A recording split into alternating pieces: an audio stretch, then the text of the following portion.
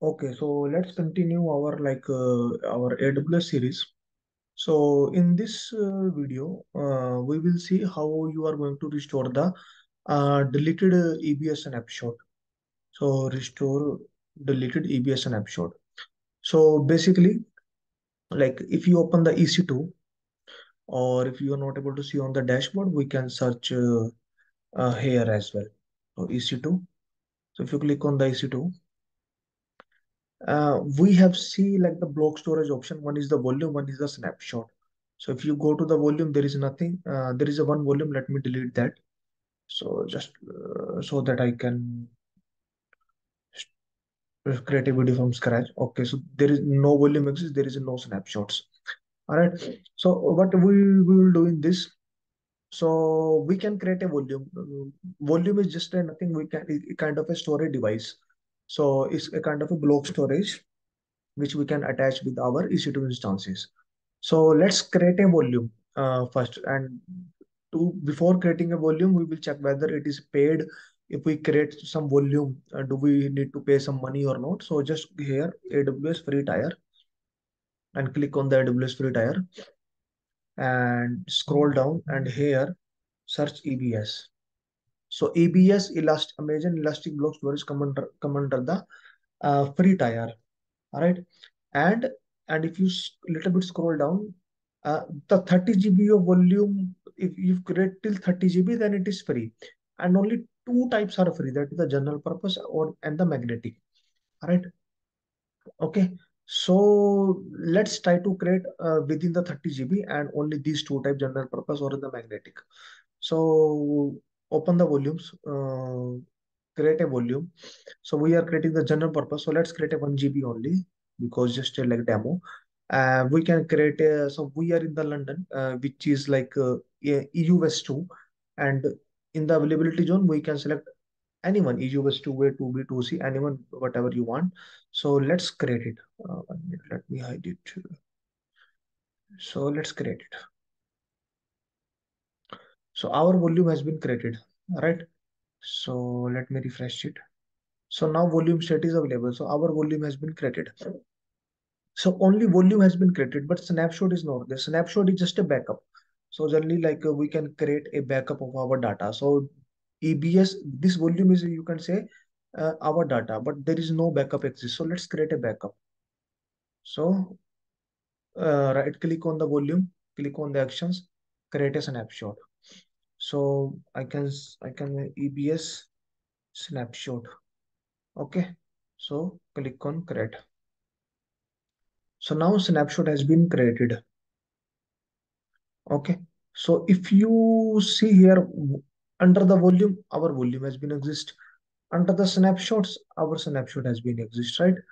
But let's pause.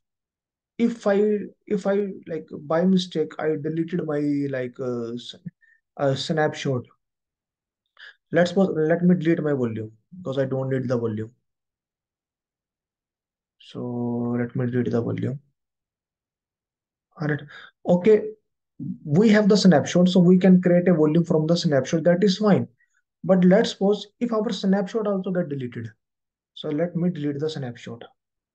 So if our snapshot has been deleted, so now how I am going to recover? So what is the way to uh, to do the recovery? If you see here, there is a recycle bin option. So let me click on the recycle bin. And if I go to the resources, uh, there is nothing. So how I how, how I like going to recover this snapshot? All right. So there is nothing. So before so so for this, like we have one option. Whenever you create the snapshot, so let's create the volume again. Create a volume, 1 GB and uh, general purpose and let's create a volume. So volume has been created. So let's create a snapshot. Uh, my snapshot.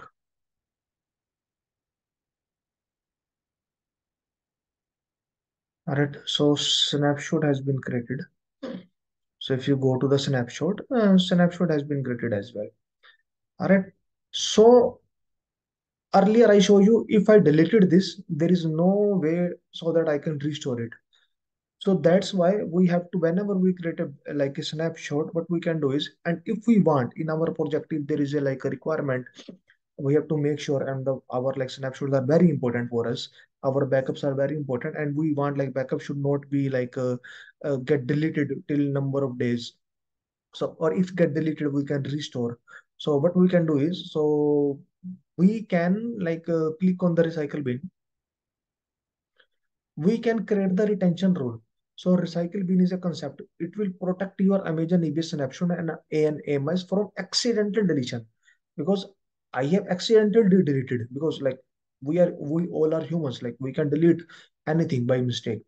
But how we how we are going to restore? So so we have the recycle bin option.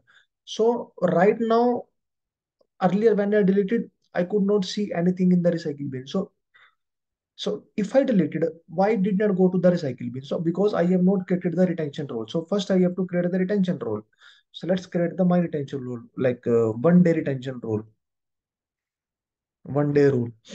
All right so resource type ebs because uh, there are we, you could see two options ebs and the ami uh, because uh, like uh, recycle bin uh, is applicable for the both the EBS and the AMI. And let's apply to all the resources, all the resources of the EBS snapshot, and the retention period is one day. All right. Okay, so let's create the retention rule. So now I have created my retention rule. All right. So now, but there there is no resources. Now I've created my retention. Now let's go back to the EC2. So because now, uh, now I have created the retention rule. So if I click on the snapshots, all right. So let me delete the volume. So because I don't need the uh, don't need my volume, delete volume, right?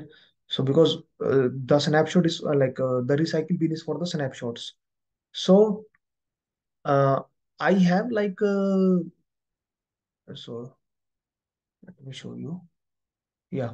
So now what we are going to do is we are going to delete our snapshot.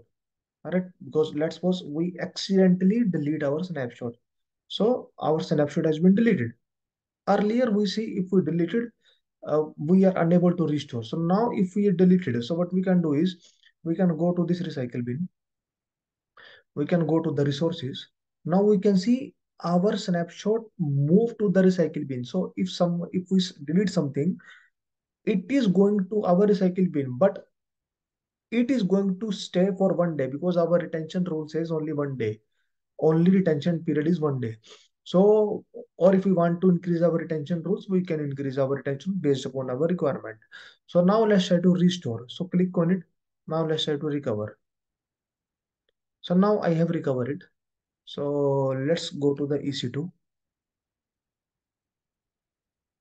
and let's uh, click on the snapshots.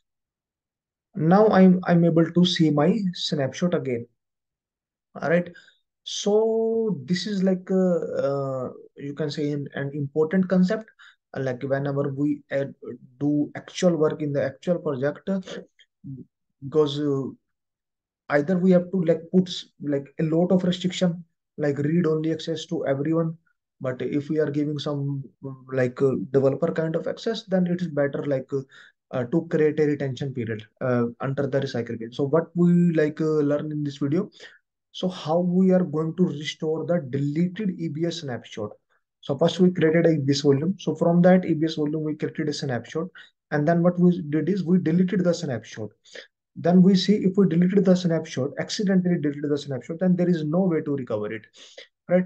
Then we, we could see there is a one option that the recycle bin, but that the deleted snapshot will move into the recycle bin only and only if we, we set the retention rule. So we set the retention rule again. We set the retention rule then we again created the volume and then again created the snapshot.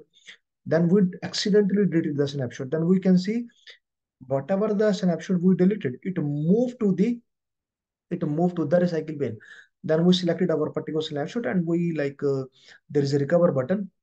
Then we recover our snapshot and we able to see our uh, our snapshots uh, uh, that is going to restore.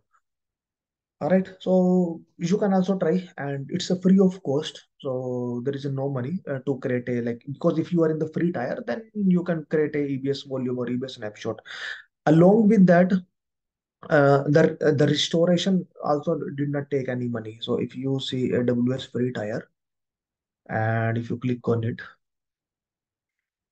and if you search ebs so click on it elastic block storage and click on the aws free tier and if you scroll down so there is a mention like uh, uh, restoring. So EBS snapshot restore pricing. So for the standard, uh, like uh, there is a free, so there is a no restore like pricing. So you can do the restore free of cost. So you don't need to worry. All right. So that's it. Uh, that's the end of the video. Uh, thank you.